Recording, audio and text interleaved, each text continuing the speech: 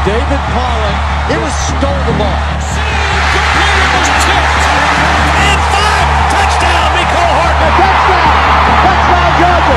There goes that sprinter speed. Turn it on, baby. Georgia Bulldogs come to town to take on the South Carolina Gamecocks.